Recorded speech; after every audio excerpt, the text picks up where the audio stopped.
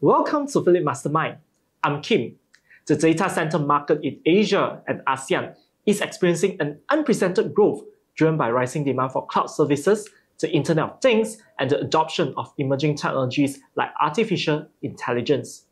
Data centers are physical sites or buildings that house mission critical data and information under strict security and redundancy protocols.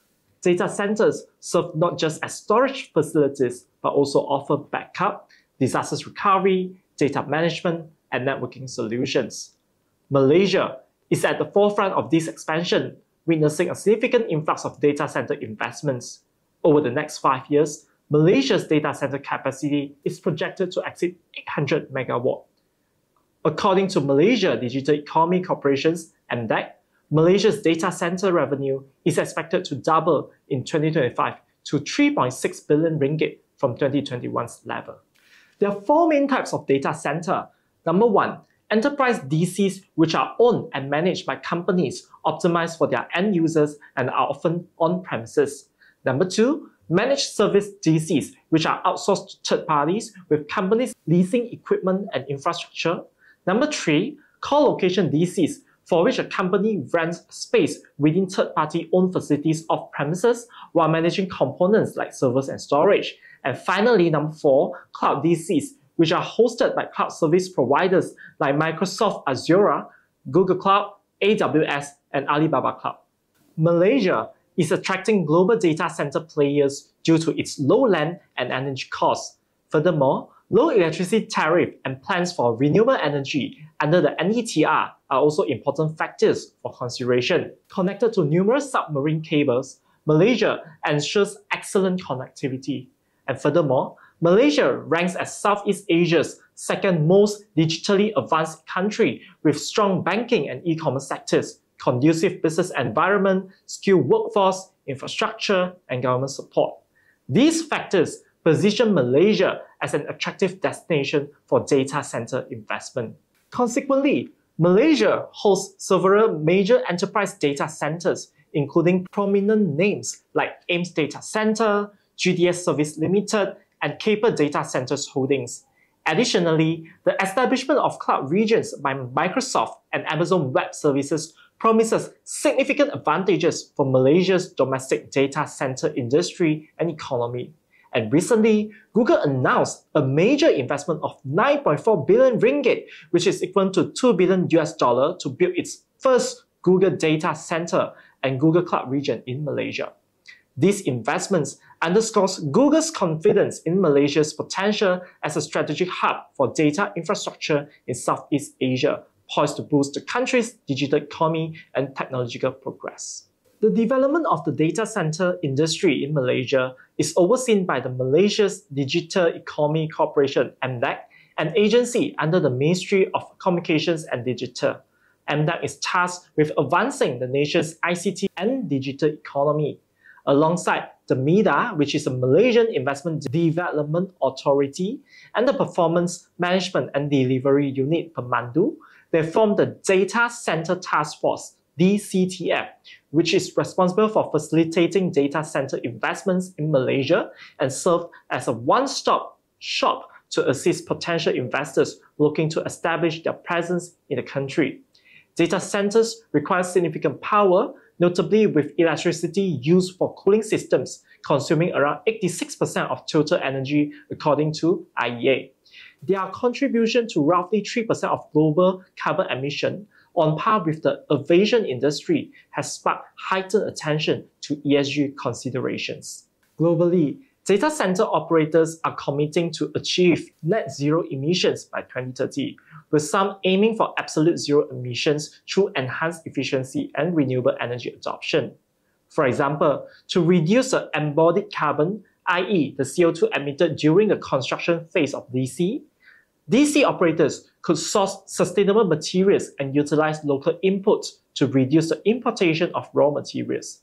Another example, innovations like hydrogen fuel cells and advanced cooling technologies are reducing carbon footprints. Alibaba Cloud's commitment to transitioning its global data centers is also another good example, which is running entirely on clean energy by 2030, beginning with upgrades to five of its hyperscale data centers in China. Investment opportunities within the data center team often center around established telco companies, as data centers are crucial assets for enterprise services, complementing extensive submarine cable ownership. Although there are no exclusive data center firms listed on Bursa Malaysia, investors could look at construction-related and service-oriented companies integral to the broader value chain within the data center space. A disclaimer here, the examples provided are not exhaustive and should not form any recommendation to buy, hold, and sell. Tenaga focuses on power consumption for DC.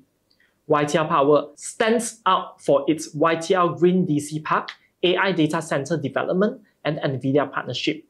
TM provides data center co-location and cloud services through TM1.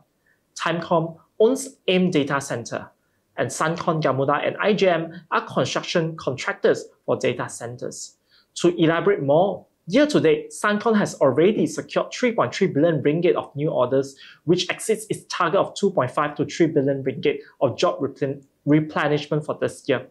Gamuda recently also won 1.74 billion ringgit job to build Sime Properties hyperscale data center at Elmina Business Park and IJM has been involved in providing industrial pulse for DCs and has a DC contract under its tender book.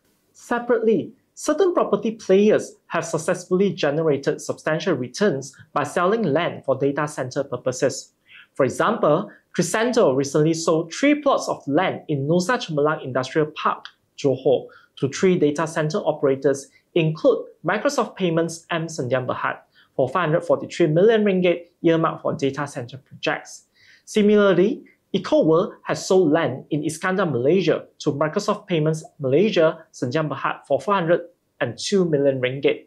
And finally, AME Elite sold land in Pulai to Hong Kong-based data center operator, which is Digital Hyperspace Malaysia Sendirian Berhad for 210 million ringgit in cash.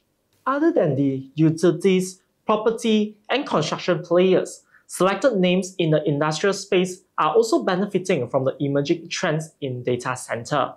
VSTECS and SNS are distributors of hardware components for data centers and cloud software.